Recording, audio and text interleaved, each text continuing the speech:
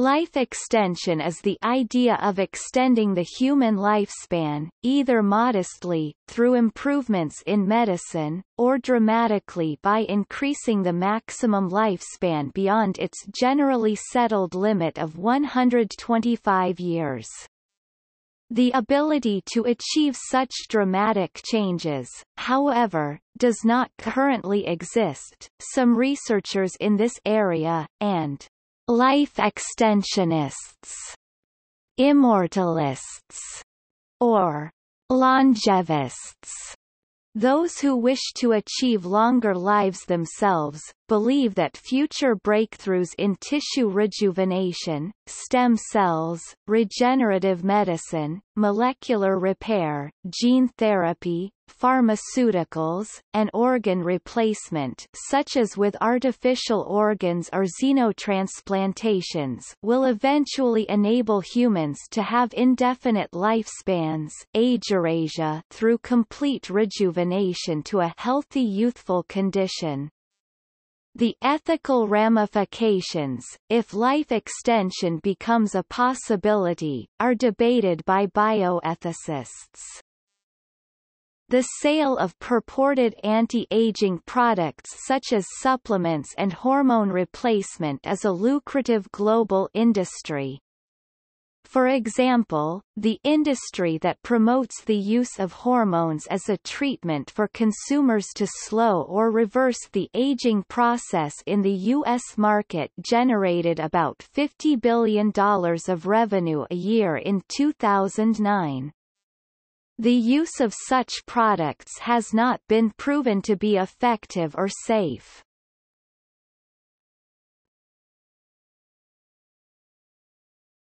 Topic: Average and maximum lifespan.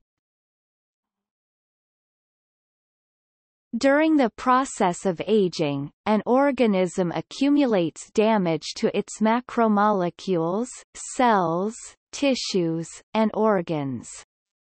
Specifically, aging is characterized as and thought to be caused by genomic instability, telomere attrition, epigenetic alterations, loss of proteostasis, deregulated nutrient sensing, mitochondrial dysfunction, cellular senescence, stem cell exhaustion, and altered intercellular communication.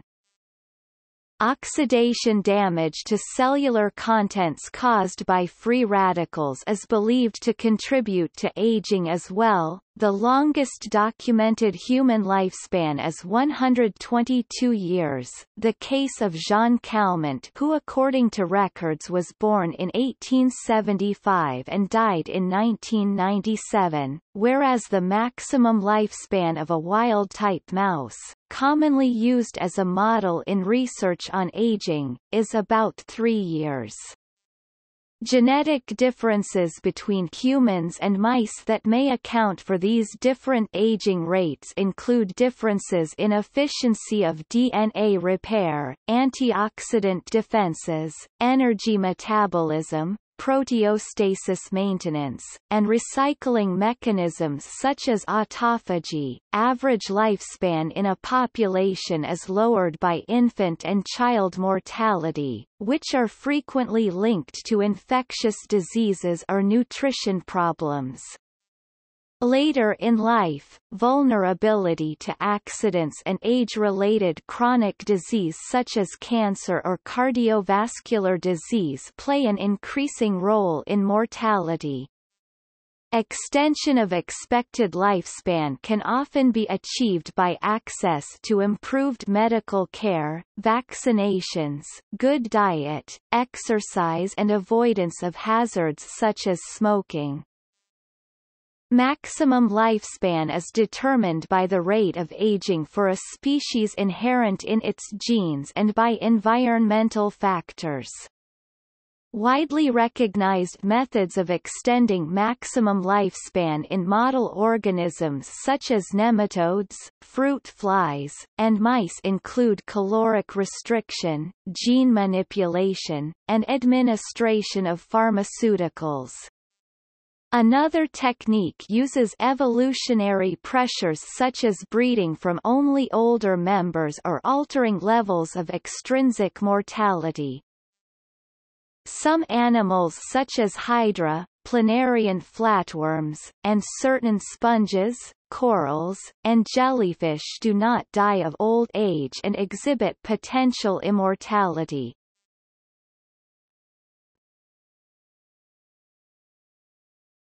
Topic: Strategies.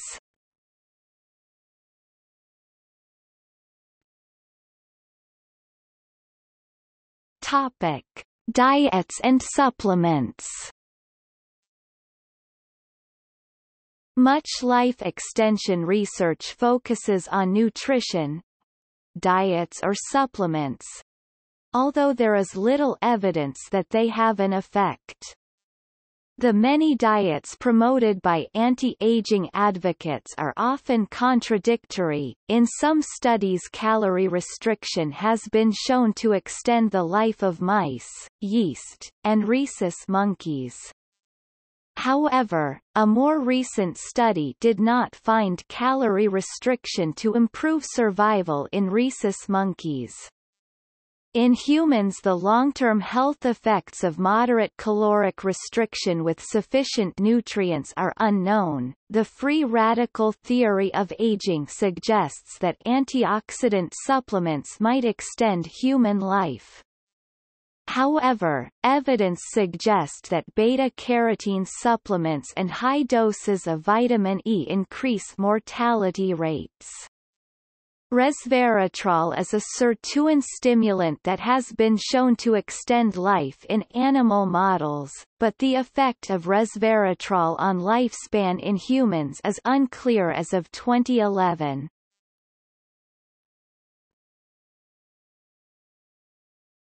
Topic: Hormone treatment The anti-aging industry offers several hormone therapies. Some of these have been criticized for possible dangers and a lack of proven effect. For example, the American Medical Association has been critical of some anti-aging hormone therapies. While growth hormone (GH) decreases with age, the evidence for use of growth hormone as an anti-aging therapy is mixed and based mostly on animal studies. There are mixed reports that GH or IGF-1 modulates the aging process in humans and about whether the direction of its effect is positive or negative.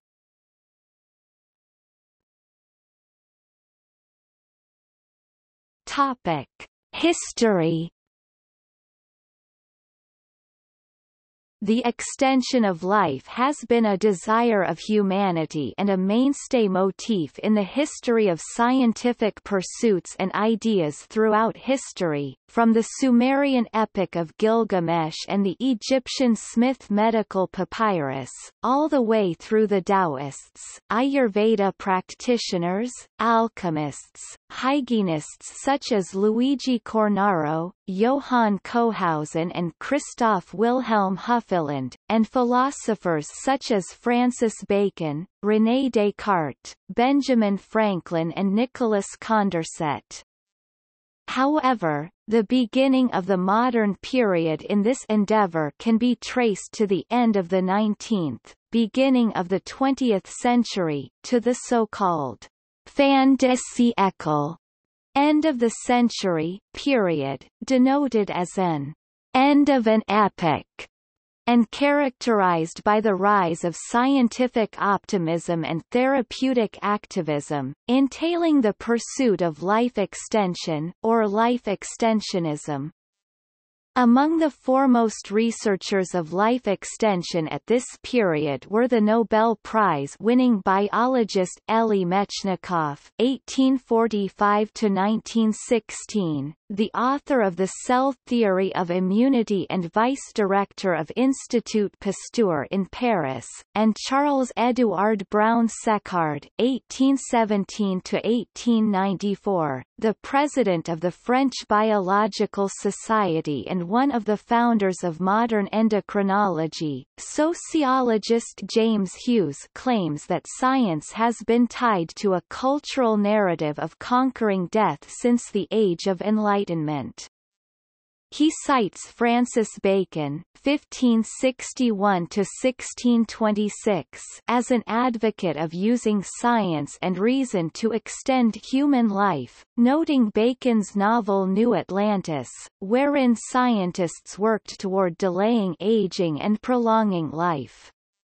Robert Boyle (1627–1691), founding member of the Royal Society, also hoped that science would make substantial progress with life extension, according to Hughes, and proposed such experiments as to replace the blood of the old with the blood of the young, Biologist Alexis Carrel (1873–1944) was inspired by a belief in indefinite human lifespan that he developed after experimenting with cells, says Hughes. In 1970, the American Aging Association was formed under the impetus of Denham Harman, originator of the free radical theory of aging.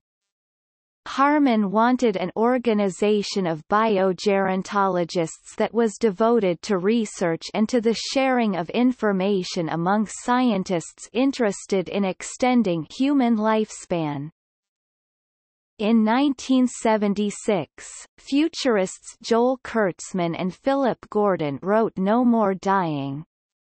The Conquest of Aging and the Extension of Human Life, ISBN 0-440-36247-4, the first popular book on research to extend human lifespan. Subsequently, Kurtzman was invited to testify before the House Select Committee on Aging, chaired by Claude Pepper of Florida, to discuss the impact of life extension on the Social Security system. Saul Kent published The Life Extension Revolution ISBN 0-688-03580-9 in 1980 and created a nutraceutical firm called the Life Extension Foundation, a non-profit organization that promotes dietary supplements. The Life Extension Foundation publishes a periodical called Life Extension Magazine. The 1982 best-selling book Life Extension, A Practical Scientific Approach ISBN 0-446-51229-X by Dirk Pearson and Sandy Shaw further popularized the phrase, life extension Regulatory and legal struggles between the Food and Drug Administration FDA and the Life Extension Foundation included seizure of merchandise and court action. In 1991, Saul Kent and Bill Falloon, the principals of the foundation, were jailed.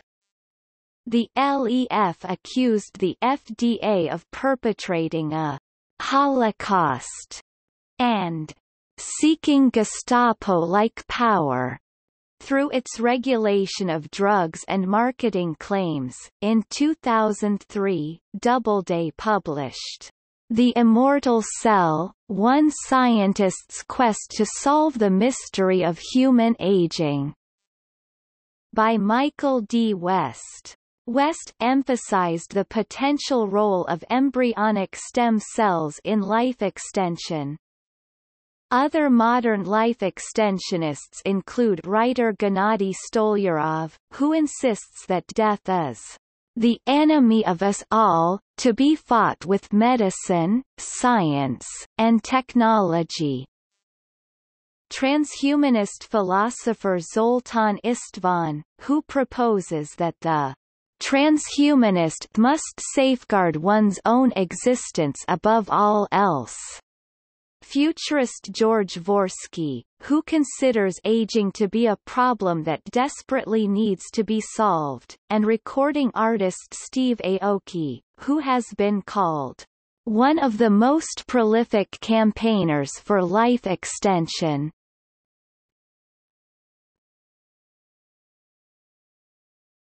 Topic: Scientific research In 1991, the American Academy of Anti-Aging Medicine A4M, was formed. The American Board of Medical Specialties recognizes neither anti-aging medicine nor the A4M's professional standing. In 2003, Aubrey de Grey and David Gobel formed the Methuselah Foundation, which gives financial grants to anti-aging research projects.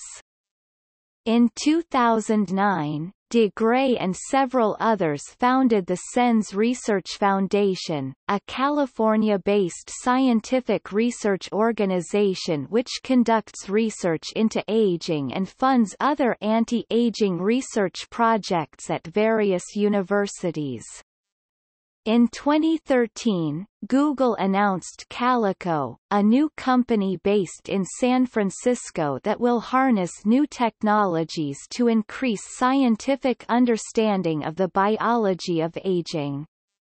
It is led by Arthur D. Levinson, and its research team includes scientists such as Hal V. Barron, David Botstein, and Cynthia Kenyon.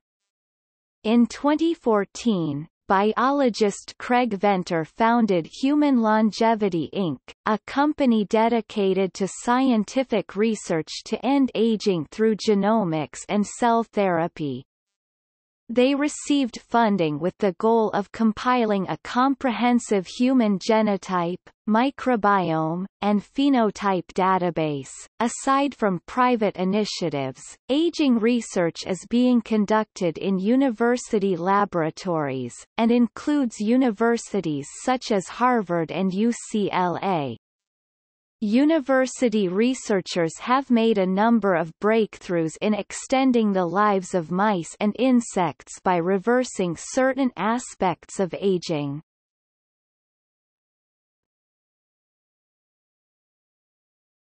Topic: Ethics and politics.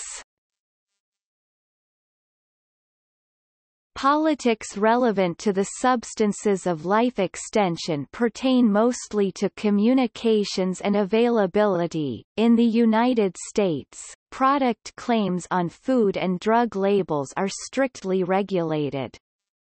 The First Amendment freedom of speech protects third-party publishers' rights to distribute fact, opinion and speculation on life extension practices. Manufacturers and suppliers also provide informational publications, but because they market the substances, they are subject to monitoring and enforcement by the Federal Trade Commission FTC, which polices claims by marketers. What constitutes the difference between truthful and false claims is hotly debated and is a central controversy in this arena.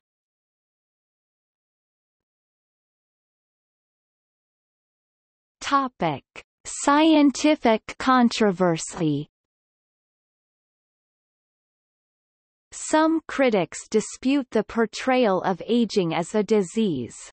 For example, Leonard Hayflick, who determined that fibroblasts are limited to around 50 cell divisions, reasons that aging is an unavoidable consequence of entropy.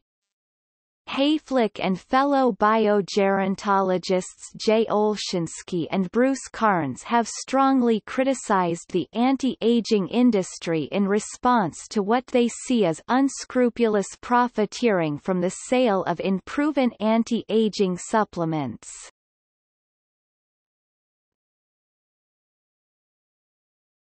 Topic: Consumer motivations Research by Sobh and Martin, 2011, suggests that people buy anti-aging products to obtain a hoped-for self e.g., keeping a youthful skin, or to avoid a feared self e.g., looking old. The research shows that when consumers pursue a hoped-for self, it is expectations of success that most strongly drive their motivation to use the product. The research also shows why doing badly when trying to avoid a feared self is more motivating than doing well.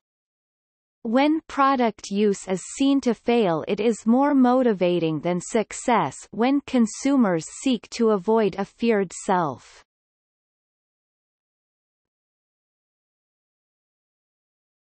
Topic. Political parties Though many scientists state that life extension and radical life extension are possible, there are still no international or national programs focused on radical life extension. There are political forces staying for and against life extension. By 2012, in Russia, the United States, Israel, and the Netherlands, the longevity political parties started. They aim to provide political support to radical life extension research and technologies, and ensure the fastest possible and at the same time soft transition of society to the next step, life without aging and with radical life extension, and to provide access to such technologies to most currently living people.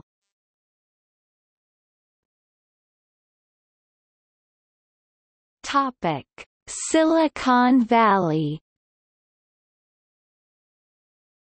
Some tech innovators and Silicon Valley entrepreneurs have invested heavily into anti-aging research. This includes Larry Ellison, founder of Oracle, Peter Thiel, former PayPal CEO, Larry Page, co-founder of Google, and Peter Diamandis.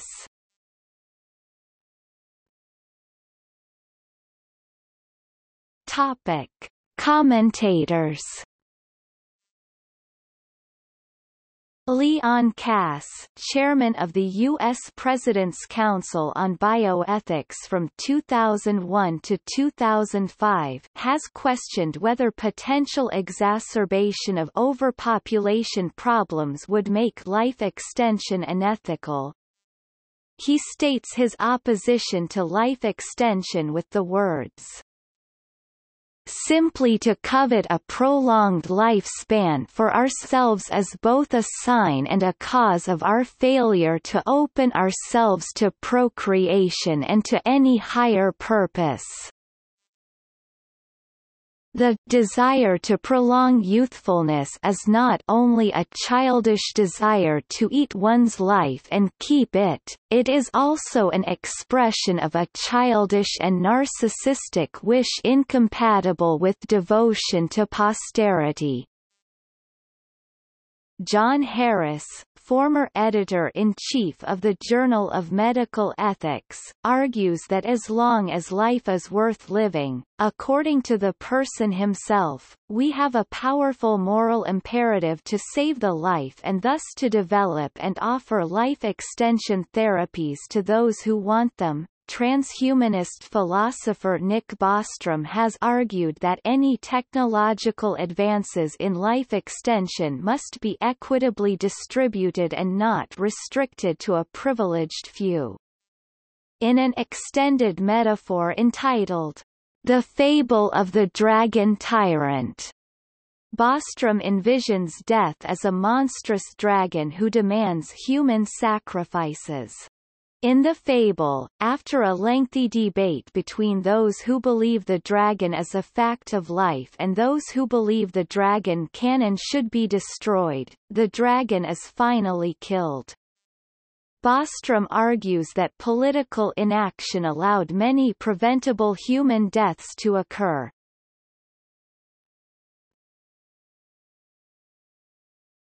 Topic.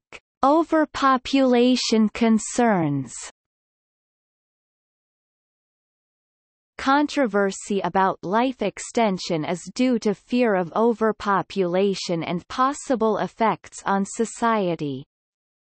Biogerontologist Aubrey de Grey counters the overpopulation critique by pointing out that the therapy could postpone or eliminate menopause, allowing women to space out their pregnancies over more years and thus decreasing the yearly population growth rate. Moreover, the philosopher and futurist Max More argues that, given the fact the worldwide population growth rate is slowing down and is projected to eventually stabilize and begin falling, superlongevity would be unlikely to contribute to overpopulation.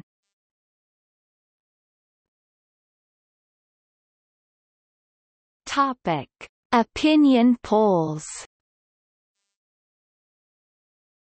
A spring 2013 Pew Research poll in the United States found that 38% of Americans would want life extension treatments, and 56% would reject it. However, it also found that 68% believed most people would want it and that only 4% consider an ideal lifespan to be more than 120 years. The median ideal lifespan was 91 years of age and the majority of the public 63% viewed medical advances aimed at prolonging life as generally good. 41% of Americans believed that radical life extension RLE would be good for society, while 51% said they believed it would be bad for society. One possibility for why 56% of Americans claim they would reject life extension treatments may be due to the cultural perception that living longer would result in a longer period of decrepitude, and that the elderly in our current society are unhealthy. Religious people are no more likely to oppose life extension than the unaffiliated, though some variation exists between religious denominations.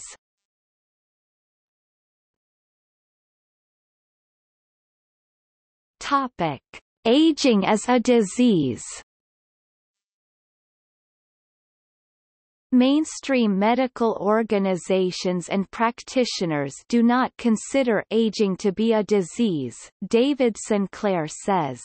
I don't see aging as a disease, but as a collection of quite predictable diseases caused by the deterioration of the body.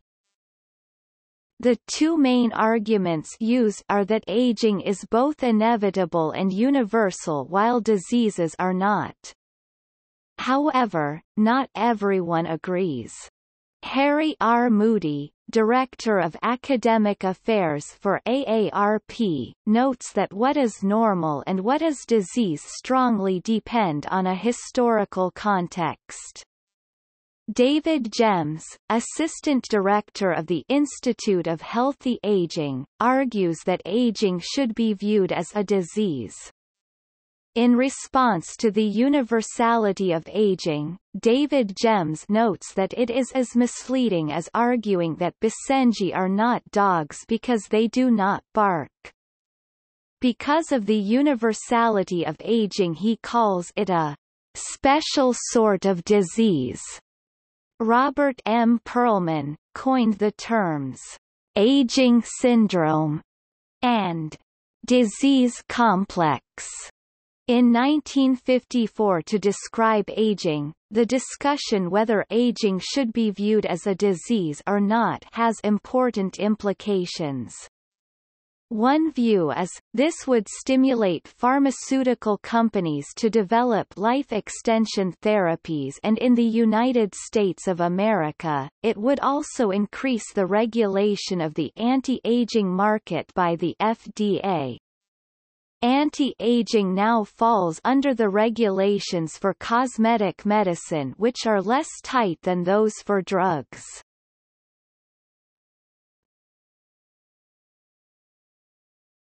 Topic. Research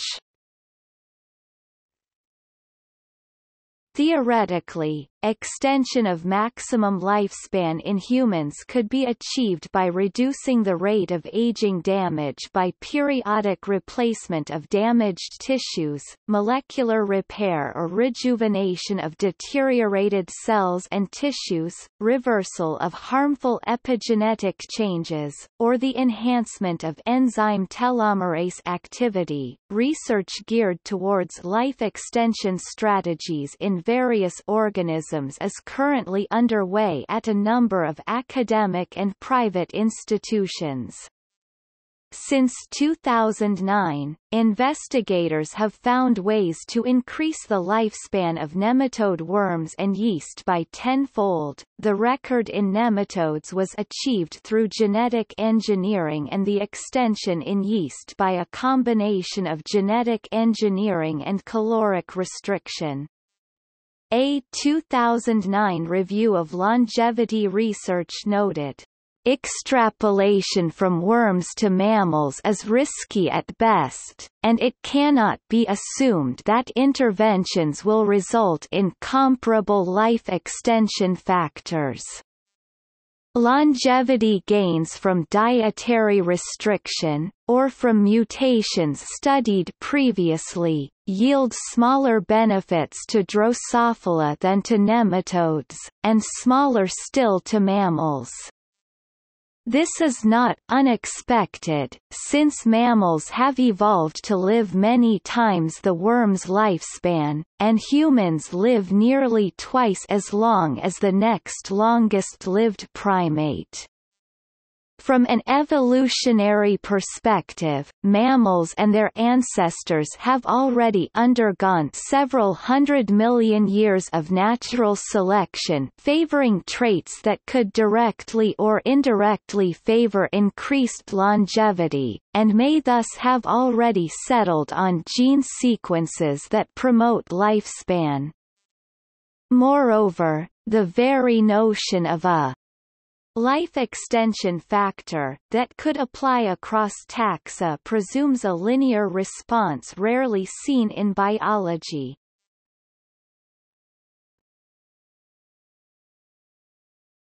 Topic. Anti-aging drugs There are a number of chemicals intended to slow the aging process currently being studied in animal models. One type of research is related to the observed effects of a calorie restriction CR diet, which has been shown to extend lifespan in some animals. Based on that research, there have been attempts to develop drugs that will have the same effect on the aging process as a caloric restriction diet, which are known as caloric restriction mimetic drugs. Some drugs that are already approved for other uses have been studied for possible longevity effects on laboratory animals because of a possible CR mimic effect. They include rapamycin, metformin and other geroprotectors. MitoQ, resveratrol and pterostilbene are dietary supplements that have also been studied in this context. Other attempts to create anti-aging drugs have taken different research paths. One notable direction of research has been research into the possibility of using the enzyme telomerase in order to counter the process of telomere shortening. However, there are potential dangers in this, since some research has also linked telomerase to cancer and to tumor growth and formation.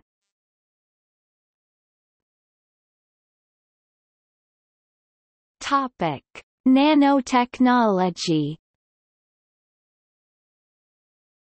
Future advances in nanomedicine could give rise to life extension through the repair of many processes thought to be responsible for aging. K. Eric Drexler, one of the founders of nanotechnology, postulated cell repair machines, including ones operating within cells and utilizing as yet hypothetical molecular computers, in his 1986 book Engines of Creation. Raymond Kurzweil, a futurist and transhumanist, stated in his book The Singularity is near that he believes that advanced medical nanorobotics could completely remedy the effects of aging by 2030. According to Richard Feynman, it was his former graduate student and collaborator Albert Hibbs who originally suggested to him circa 1959, the idea of a medical use for Feynman's theoretical nanomachines see biological machine, Hibbs suggested that certain repair machines might one day be reduced in size to the point that it would, in theory, be possible to, as Feynman put it, swallow the doctor. The idea was incorporated into Feynman's 1959 essay There's Plenty of Room at the Bottom.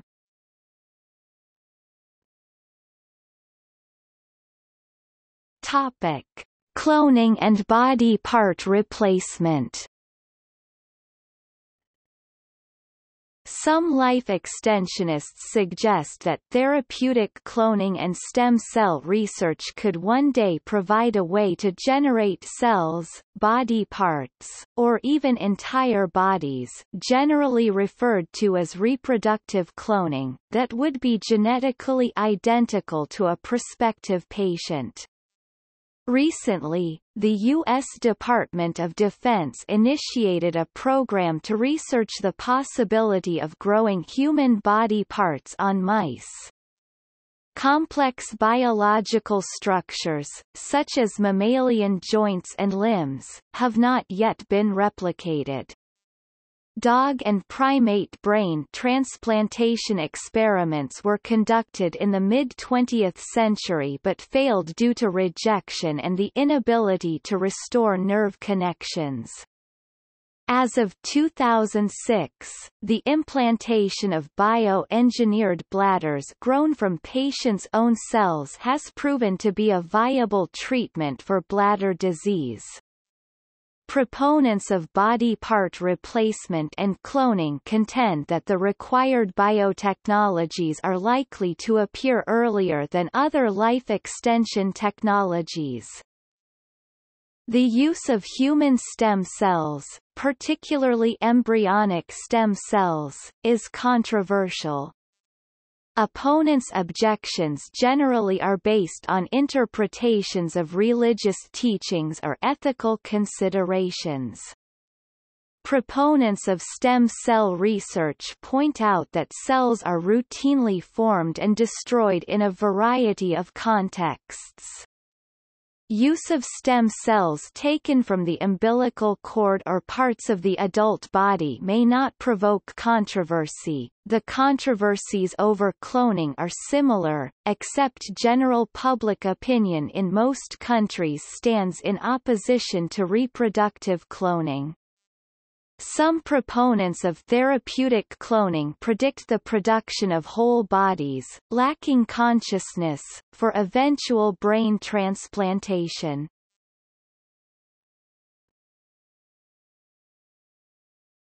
Topic: Cyborgs Replacement of biological susceptible to diseases organs with mechanical ones could extend life. This is the goal of the 2045 initiative.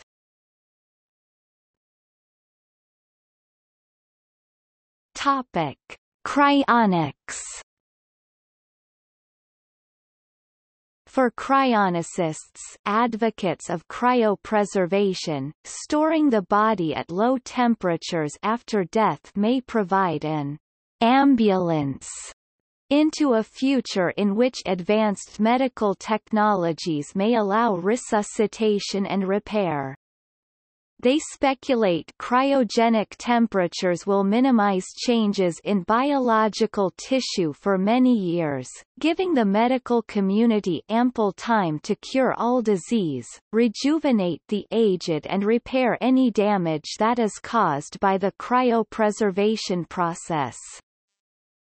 Many cryonicists do not believe that legal death is real death because stoppage of heartbeat and breathing the usual medical criteria for legal death occur before biological death of cells and tissues of the body. Even at room temperature, cells may take hours to die and days to decompose. Although neurological damage occurs within 4 to 6 minutes of cardiac arrest, the irreversible neurodegenerative processes do not manifest for hours. Cryonicists state that rapid cooling and cardiopulmonary support applied immediately after certification of death can preserve cells and tissues for long-term preservation at cryogenic temperatures. People, particularly children, have survived up to an hour without heartbeat after submersion in ice water. In one case, full recovery was reported after 45 minutes underwater. To facilitate rapid preservation of cells and tissue, cryonics standby teams are available to wait by the bedside of patients who are to be cryopreserved to apply cooling and cardiopulmonary support as soon as possible after declaration of death. No mammal has been successfully cryopreserved and brought back to life, with the exception of frozen human embryos. Resuscitation of a postembryonic human from cryonics is not possible with current science. Some scientists still support the idea based on their expectations of the capabilities of future science.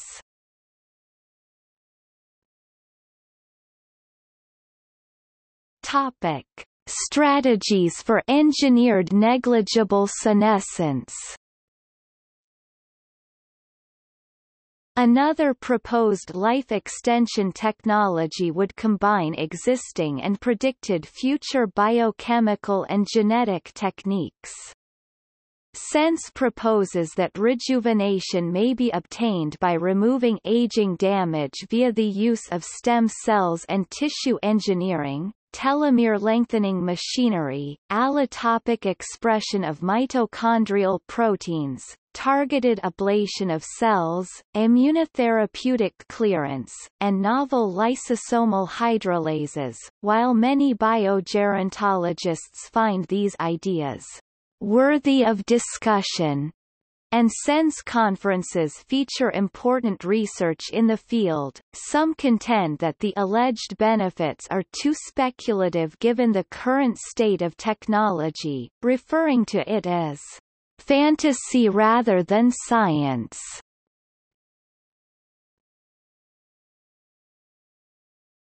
Topic: Genetic editing genome editing, in which nucleic acid polymers are delivered as a drug and are either expressed as proteins, interfere with the expression of proteins, or correct genetic mutations, has been proposed as a future strategy to prevent aging. A large array of genetic modifications have been found to increase lifespan in model organisms such as yeast, nematode worms, fruit flies, and mice. As of 2013, the longest extension of life caused by a single gene manipulation was roughly 50% in mice and tenfold in nematode worms.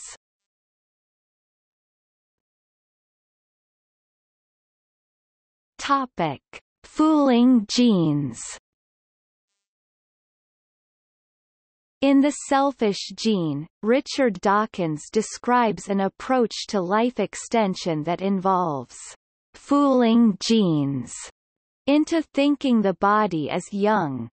Dawkins attributes inspiration for this idea to Peter Medawar. The basic idea is that our bodies are composed of genes that activate throughout our lifetimes, some when we are young and others when we are older.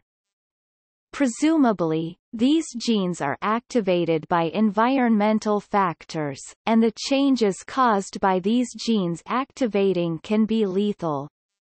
It is a statistical certainty that we possess more lethal genes that activate in later life than in early life. Therefore, to extend life, we should be able to prevent these genes from switching on, and we should be able to do so by identifying changes in the internal chemical environment of a body that take place during aging, and by simulating the superficial chemical properties of a young body.